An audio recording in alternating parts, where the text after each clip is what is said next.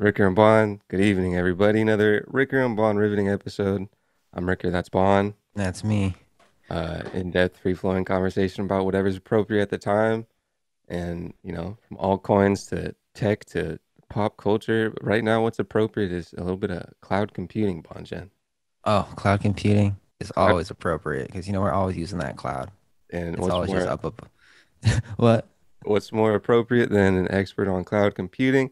We have Ian Moyse. What's going on, Ian? Hey, how you doing? Doing well. Doing Um, great. So you're Doing coming. great. You're coming all the way from the, the land of the UK, yes? I am the, the land the land at this point in time as we record the land of desperate desperation for, for petrol and fuel for your vehicle. So, It- it- there's a gas shortage, isn't there? Or, uh, or well, yeah, we're told it's not a shortage; it's just a shortage of drivers. But w- when you, I, I heard a comedian the other night talk about that and say, "Well, try telling a scuba driver it's not a shortage of air. There's plenty of air. It's just not in your tank where you need it." So, you know, I was following that a little bit, I just a tiny bit because I'm not super in depth with it, but I, I thought it was pretty interesting. oh no, I was just gonna say I actually wasn't familiar with this at all. Yeah. But I didn't want to veer off topic too much. Apparently, they got less fuel uh, or less drivers, uh, according to, to Mr. Ian Moyse, uh, a an expert in, in cloud computing and influencer in the space, uh, ranked number one uh, by uh, certain publications, probably the best publications if he's they're ranking him number one for uh, social influencing on cloud. Also, a, a you know speaker on on social branding, selling uh, in general, and uh, and personal branding uh, so we can hop into that. Uh, first, I kind of just wanted like, can you define cloud computing in general? Yeah, that's a good one, right? The the simplest definition is it's um, stuff that runs on other people's computers that you access on your devices. That, that's that's probably the simplest non-technical one, right? So so if you're on your smartphone, you know, and people often you're using cloud computing and you often don't know it. That's the beauty of it, right? You, you'll be using an application on your ph- smartphone like Shazam or something, and the real power that drives what you get from that application, you know, Google Google Earth and this sort of thing, looks like it's running locally, but the real heavy lifting and all the data and the clever stuff is being done on someone else's computer somewhere out, there on the internet. But who cares? Because it's working for you, right? You've got, you know, Waze as a nav system. Think about that. Waze as a nav, nav system wouldn't work without cloud computing. And what we just lived through with COVID, I think everyone listening to this in some way would have benefited from the beauty that cloud computing brings. We 15 years ago, we wouldn't have been able to deal with COVID as we just have. We wouldn't have all hopped on video conferencing platforms um, at low or free cost and being able to switch them on overnight by, for millions of people and just get on with it because we it just wouldn't have worked. So uh, yeah, so we should all be thankful for cloud computing and, and what it lets us do in an affordable fashion right now. what was it like? Um, like how expensive was it to create an online service before cloud computing? Yeah, it's an interesting one. It also ages me a bit, right, with the way you asked the question of me. Um, but the, the problem would have been if this had been pre-cloud, right? Like what would have happened would have been you'd say, "Want to get some of this video stuff? Well, we'll, we'll try and sign up for some product," and you'd have pretty pretty much been queuing up with people with, with vendors telling you, "Yeah, yeah, yeah, you're you're gonna have to wait six months while we buy some more hardware and configure it and do this and etc." Um, unfortunately, it's just the way it was. Things took longer. But what cloud computing does is gives you virtually infinite compute power. Well, it's called elastic computing. What it means is it can burst to the requirement um, as you need it, and that's what we saw. Right, we were in millions, in millions overnight. We went to Zoom, Google, Google Hangouts, Microsoft Teams, and they just worked. You just kept signing up, and they they were just ready for it. Um, so what what's been happening over the years, and, and in the industry, it's called the race to zero, is computing power has gone up, and the price has gone down. When's that ever happened, right? When you get more for less, and that it's been doing that really, really realistically for the last seven, eight, nine years now, and it keeps doing it. You know, Amazon, Google, Microsoft, and, and in Asia Pacific, Alibaba. You know, the big players are delivering more and more compute power and capability and flexibility, and that's what's causing innovation. That's why we're all seeing the likes of, you know, Amazon was early, but Uber, just, you know, you know, if you look at the Ubers, the Airbnbs, and all the other up and coming applications and online services that we all um, enjoy and take for granted, they've been made possible because of the innovate the uh, fundamental innovations of cloud computing.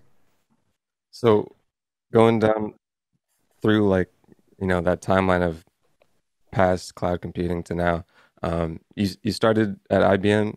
I saw on LinkedIn. Is that correct? I I did many many many years ago before. Uh, the word cloud and, and, and the way we digest stuff today was there with that you know it, it used to be mainframes where everyone connected remotely to them similar to the internet similar to what we do today but the cost was prohibitive um, and it certainly wasn't as flexible and easy to create and develop. What we have now is anyone listening if you're, if you're a programmer developer you'll already be aware you can come up with an idea and from your bedroom in COVID times, it'll probably have to be from your bedroom and from what we've lived through. But you can power up immense computing power and pay for it in the seconds and minutes, right? You can power it up, test out, try stuff, and then switch it off 10 minutes later and only pay for 10 minutes usage. Where is in those days when I started, you couldn't do that. You'd have had to go out and buy the kit, right? You'd have had to spend millions, even though you only want to use it for 10 minutes a week while you're testing if they've got an idea to create something from nothing, as we've seen with so many examples now of, of, the big brands that we take for granted, Facebook, prime example, right?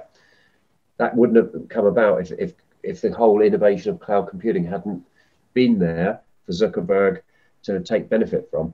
And I, I, I speak often on this, and right now there will be other brands that in five or 10 years we'll all be talking about that are out there right now that none of us have heard of, we don't know, I haven't heard of and suddenly they'll appear and they'll, you know, the TikTok came from nowhere, Instagram came from nowhere. There, there, were a ton of others queuing up to be big, big, uh, successful organizations in the future. Interesting. Do you know? So I read recently that iCloud, a large percentage of iCloud is based on AWS. Is and you know Apple is like super big on privacy. Do you know why Apple would choose to um, go with Amazon as opposed to building their own uh like data centers? Is it like is AWS like that good in terms of like like I know it's yeah. good, but yeah, to, to, if, if you look at you know what there's uh, you've got you've really got a I always talk about mainstream in, in many countries. There's three main brands, right? It's, it's Google Compute, Amazon Web Services (AWS), and Microsoft Azure. And what they've built, and Amazon's got a head had a head start, right, because of the scale. They they built that out for Amazon, right, as we know it, the Amazon storefront. And instead of um, just hosting with someone else, they built out their own infrastructure, and that led to them, and I'd argue by accident, creating Amazon Web Services because they realized, well, if we can do this for ourselves so effectively, they build their own kit, by the way, as well. If you look at Amazon, Amazon data centers, the kit in them isn't IBM or HP, it's Amazon. They build their own equipment, so they own it. They own it the, the stack, and they've created another opportunity for themselves. Right? They, they it came off the back of the Amazon storefront as we know it, and through engineering and building to support that growth, they realised actually we've created another opportunity for ourselves. So the reason other vendors are going there is do you really want to invest and reinvent the wheel and try and create why not just use something that exists? And they're not the only ones. Lots and lots of major vendors you know from um, salesforce oracle extra in the industry are turning to the likes of aws and saying look we'll replat we'll, we'll move our stuff onto you. You take care of that because you can do it more cost effectively because you've got such a scale. Would google be second or is microsoft second my I, typically in my experience in the in the cloud sector, you, you tend to see AWS and Azure usually um, the, the commonest two that the average business looks at hosting at, and then a lot of application providers um, look at Google Compute. And as I mentioned, you've also then got other players like Alibaba out there uh, in the Asia Pacific region. You've got Huawei, who've just launched a load of cloud services and building up their own hosting. Um, but I always talk about the big three, right? The magic, the, the Mike's, MAG, Microsoft, Amazon, Google, are the three commonest names that come up. Um, and then you've got around that lots of other hosting companies that are still big, like Rackspace, and then other localized around the globe hosting firms that have a niche that they address. But the bulk of the market sits with very few names. It really does because they, they offer, for generic hosting of applications, they offer a scale and a price point that's difficult to compete with. It's just economies of scale, right? Is the future going forward? Because I thinking of like IBM and how they kind of lost mind share. I don't know if that came with other people scaling up with new tech or or what, but obviously like people now don't really think of IBM as a as a giant firm as they used to. In the future, is there a tech that will eventually scale down Amazon's power from having that scale? Well, one of, one of the challenges in, in the industry is not tying yourself into those platforms, right? That, that that's the challenge because once you go down the Amazon route, it, it was always purported to be agnostic. That the, the dream state was you, you choose which you choose one of them to, to post on, but then if you want, you can easily switch to another one. And it's not that easy, unfortunately. So IBM bought Red Hat for a, an extortionate amount of money. Um, and they're reshaping themselves as the, the easiest description is, is an abstraction layer. So, i.e., they're, they're looking at what they've built is a way that you can build your application on um, the, the, the IBM platform that they've got there, um, OpenShift, and, and that will sit above AWS or Azure or Google. So you can create your application, code it, and that abstraction there means if you later want to re-platform it and say, well, actually, we don't want to be on AWS, we want to be on Azure, it's more portable to do so because you've coded to that layer in between as opposed to directly to AWS, etc. So I think what we're seeing is a lot of legacy vendors repositioning themselves and trying to readjust around what's happening in cloud. We've seen HP doing that with some of their storage options and trying to re-engineer and come out with new uh, new offerings that more address what's going on in the cloud market. Um, because what the reality in, in, in the industry is businesses are going to be um, two things hybrid and multi-cloud right you, people like to think well we're going to standardize on one platform but large corporate organizations will have some azure some aws some google so there's going to be a mix, and that's the that's the world that, that everyone's realised we're evolving into. So there isn't going to be one winner. You're going to you're going to have to deal with um, a new complexity. Cloud solves a lot of problems, but it introduces new ones. You know, it's just moving into a different a different world of, of computing. How many? What's like the average number of data centers these these big players have, like in the United States? Do, do you know what? I, off the top of my head, I don't know, but it's not in the what they tend to do. They're not building thousands of them right around all locations.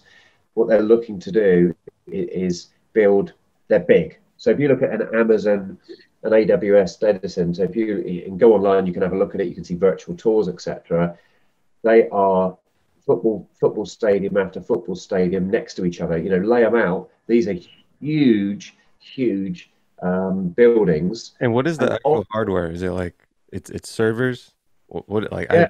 it's still racks of, of, of equipment. It's still racks of computing power. It's just instead of you having it in your office, it's there, and you don't have to maintain the power to it. Right? You don't have to maintain the the, the equipment. So you know the days when I, I started in this is, is computing world, you'd have a server in your office for your email server. You'd have another server for where you hung all the printers off it. You'd have another server which was your database server, and you'd buy the kit, and you'd then put power into it. You'd then buy uh, an, a UPS next to it in case the mains power went to keep the thing running, and, and and then if the motherboard or something went wrong in that server, guess what? You'd be in un, unscrewing it and putting the hardware in and, and fixing bits. All of that now is is not your problem right? And the beauty of doing it in the cloud is if a bit of hardware fails, you just keep running. You don't see it because they've built failover, they've built resilience into this. They've got all these racks of equipment, and the applications don't run on one CPU. That if that fails, oh, we have to wait six hours while someone ships a new one in, or two days. It doesn't matter. It's all architected to be failover. The whole the whole point should be you always have access from anywhere, anytime on any device. We take it for granted now, but it didn't used to be that, right? So now, if you go take Facebook. Go on Facebook on your PC, go on Facebook on your Mac, go on Facebook on your phone, go on Facebook on your tablet, and it all adapts itself to whatever device you're on. And you can go on it 24 7. And the majority of the time, there's always blips on anything, right? But if you think about over a year, it's very rare that any core application you want to access today isn't available to you. Mm-hmm. You go back 20 years, there would be times when for a day or two you didn't have access to whatever the application was. It wasn't a, if something failed in that server and the bit of kit was ordered, you'd have a techie telling you, yeah, we should we you should be able to access it by Friday. The kit's coming in on Thursday, and then I need a few uh, time to overnight do this with it, and then you can what? But that was the world. Now, if you've got offline, if you're offline on on some application, you know what what's your social media? Go you know go mad. Watch Twitter oh my god, Instagram's been down for 10 minutes. What the hell's going on? I can't survive. Mm-hmm. Because the expectation level is always available, anytime, anywhere, any device. What's the cooling process like at these data centers? Well, yeah, that's what I was going to say. If you look at the locations where a lot of these data centers go, it's a good question. Is that's one of the biggest issues, right? Is the power um, and, and, how they keep them cool and all the rest of it, and temperate, you know, because that that that affects the resilience. So if you look at where a lot of them are built, guess what? They're, they're built by rivers uh, for, the, for the power and the water power, etc. So go and look at Amazon. There's lots of them built, uh, you know, on the Mississippi and things like this. There's there's lots of data centers built in cold countries. You know, the Nordics region. There are data centers that are built near glaciers, etc., because they can use natural cooling which makes it more green, more efficient, etc. Because the big problem, uh, uh, two biggies are, a, they need an immense amount of power, and B, they need an immense amount of cooling. You can't you can't run these things. They're air they've got to be run air conditioned, which again needs power. So the, there's a lot of smart decisions made about where they build them. It isn't just you don't you try not to build them in the middle of a hot area where you've got to drive power to it. If you can build them on a river and use water flow as power and use cool, clever cooling techniques, so that there's a lot of uh, clever engineering goes on around how you build and operate these things with a, at the maximum efficiency you can. We can get into your, your personal branding and, and what your advice for that in, in a second, but I want to ask you one question: Is any of this hardware that you know, AWS, Azure, Google, can that eventually not be physical?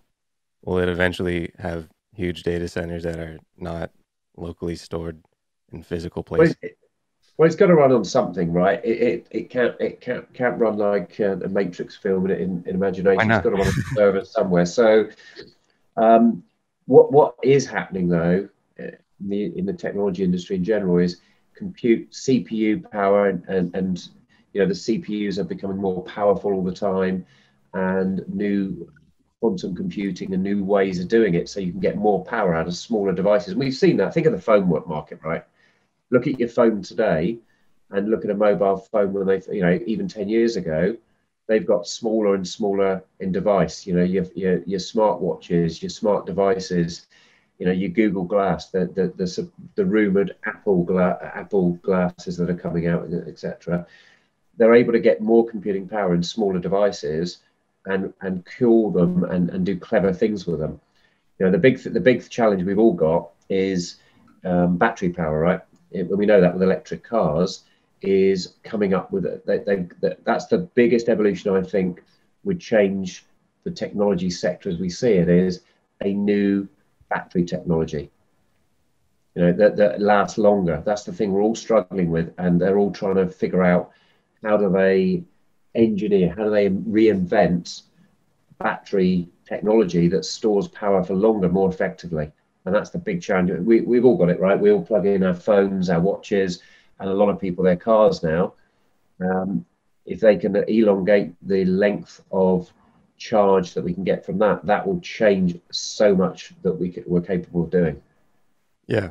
So people are plugged in digitally, doing remote things. I said to you that uh, I think a lot of people are going away from trying to get employed by big companies and try to do their own things. Um, and, and, you know, software helps with that of kind of having like a, a, personal stack of software that is their business. Um, so you you made yourself an influencer in the space, and and I know you talk about the importance of branding yourself as a person. I was thinking even as companies too, but talk talk about the the importance of, of branding oneself in, in a digital age. Yeah, and, and I fell into this by accident. I didn't set out to, to figure out how to do this. And I know a lot of um, people say, well, I want to be an influencer. I've got one of my daughters said that before because she sees some of the ones on uh, online and YouTube and stuff. And, you know, it's, we don't just apply for that job. It's, you've got to have a voice, you've got to contribute. And there's often, as there is often with um, artists and, and, you know, comedians, etc., they, they've got instant success. Well, actually, no they did 15 years, 20 years of the circuit before they got spotted, but you just haven't seen that. So I, I, I was contributing content, writing blogs, uh, speaking at events, um, just doing a lot of stuff. And slowly got approached by different big vendors to, well, could you do one for us? Could you contribute to this? Could you come and speak at this event? And slowly, slowly, I've ended up being uh, a thought leader and influence in the cloud computing space for a lot of major brands. But it, it, it hasn't happened overnight, right? And it, it's not something I just applied for online and, and tomorrow was, was doing. But personal branding came as part of that, right? I, I slowly realized that as part of that, more people would check me out, more people would spot me online, and social media during that period became more of a must have. You know, everyone's on it, um, and different so many different platforms. So one of the bits of advice I'd give to people, and, and now because of COVID, you know, during COVID, we've seen digital transformation and online digital profile jump forward seven to eight years. That's known in the industry. That's hap- you know, we we had our expectations and and predictions uh, where we'd be in seven, ten years, and we've let forward because we've all been forced to go online, find new ways of working, etc. So I, what I say to people is, you, people say, "Well, I, am not, I'm not an influencer. I'm not a celebrity. I, I, don't have a personal brand."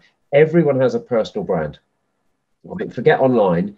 You have a personal brand. Personal brand is others' perception of you based on anything they have access to. So if you've met them in person and you've spoken well at a meeting, and then other people have talked about you and what you've done, the perception that people have of you from that engagement is what they see as your personal brand, what you stand for, what you know, your value. The reality today, though, of course, is because of social media and, and what the web brings, is you have the ability to, to control and create your own personal brand and go global with it very cheaply, if not free. You know, have you got a LinkedIn profile, a Facebook, a Twitter, an Instagram, a TikTok, whatever? Is anyone that can find you and anything they can see represents your personal brand. So for me in B2B, LinkedIn's an obvious one and Twitter are the two commonest platforms that people would look at me on. And I cultivate what content goes on those platforms. I make sure I look good because today the first impression is more often digital. You know, guys, we've jumped on here now. It's very easy for you to have checked me out beforehand looked at my LinkedIn, look, search my name in Google, and you'll find stuff and make decisions based on it, based on what you can see. So positively and negatively. So here's the thing: anyone listening to this, it it can affect your career as well. Employers, the HR team there, the recruitment team, the recruiting manager, boy, you know I recruit people, so I advise people on this. Um, we can check you out in seconds. You know, you apply for a job, I can search, even if you haven't, you haven't put the web address in, you haven't put your Facebook profile on there. Yeah, well, I've got your name. I know where you live. I know where you worked previously because it's on your CV. So I just whack it into Google and it does the work for me. And your social profiles, because based on the based on the the indexing, more often than not, your Facebook profile, your LinkedIn, your social profiles are going to be at the top because they get high rankings naturally based on those platforms. So I'm going to find you. It doesn't take much. And if you've left your Facebook profile wide open with all your college parties and stuff on it, you can argue, well, that's my right to, right? Yeah, but I can see that. And you don't know what I've looked at.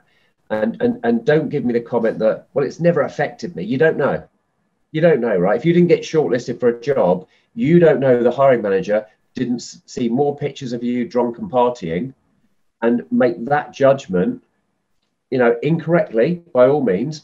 But if that's the perception they've got that was your personal brand in their mind you can argue it's wrong but they won't tell you. You'll never know and it's done its damage. So simple things are if you've got stuff out there limit it you know and limit it to who you want to see it. Control your personal brand and make yourself look good online because it, it's your personal brand.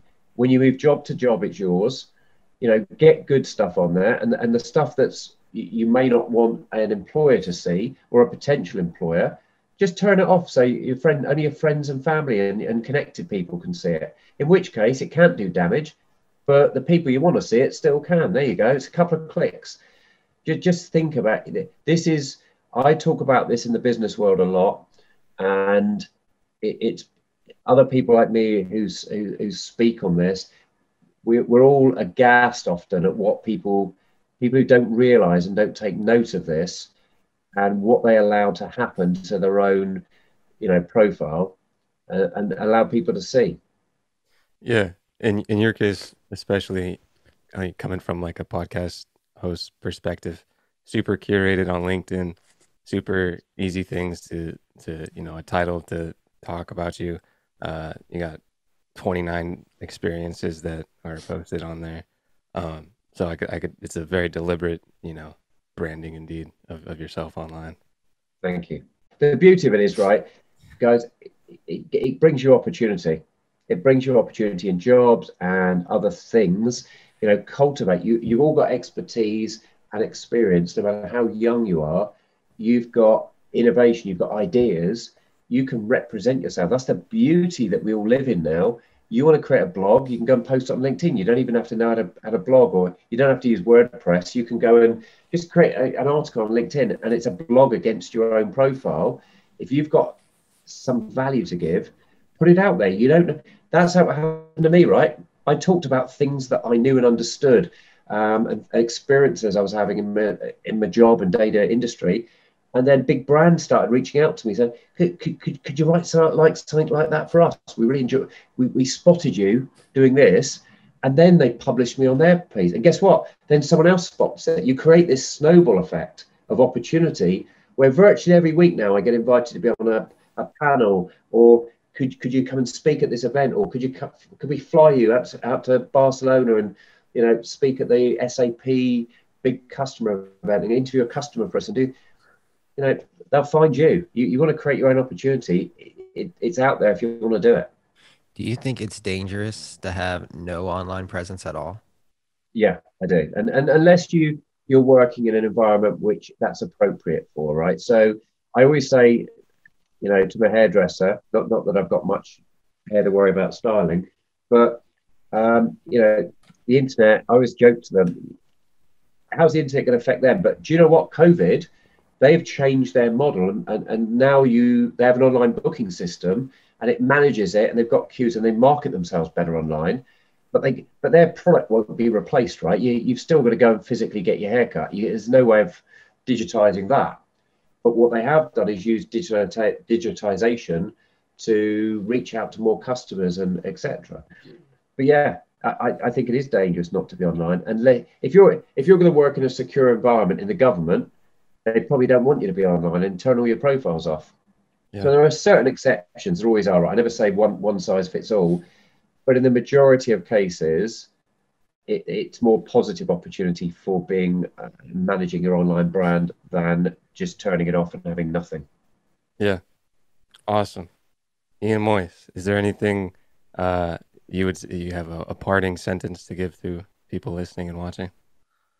I, I think embrace, embrace technology. We, we we live in a time where there is more opportunity. There's more good than bad, right? About internet, cloud, social media. It, it creates so much opportunity to create something new, to create new value quicker than ever before. Years ago, if you wanted to create a Fortune 500 valued company, the average time to create be in the Fortune 500, I remember looking this up, was something like 62 years. Wow. Um, it's like somewhere around there. recently, the average time has been of five to six years. If you look, go and look at the top 10, 20 Fortune 500 companies, and nearly all of them were created in the last 15 years. It, it's incredible. So you have the opportunity to create immense value for yourself and a company in a shorter period of time than was ever possible in instance because of what technology provides. It's whether you grab that opportunity and do something with it. 30 seconds thoughts on blockchain. Yeah, block, blockchain is an interesting one. It's, it, I think I don't think we've seen the revolution it's it, it it's what it's going to bring to the financial community. It cha- transforms and changes the whole way the monetary economy works. Um, you know, we see Bitcoin and everything. I, th- I think there's a whole evolution going on. Um, the world's going to. I, think the world in 15 years' time, we've seen immense change in the last 15 years. I think due to the likes of blockchain, AI, um, you know, Bitcoin, all these things next 15 years, I think we're going to see more change than we have in the past 15. Wonderful. I really do. Absolutely. Where can our listeners find you on social media? What are your social usernames? Thank you. And that also gives another personal branding tip. So make it easy for you. If you go to ianmoyse.co.uk or ianmoyse.cloud, they will take you straight to my Twitter and LinkedIn profiles where you'll see me post content, examples of personal branding. I'm still learning, so I'm not saying it's perfect but you'll see examples of hopefully how to do it well that will uh, give you tips and hints that you can plagiarize on your journey.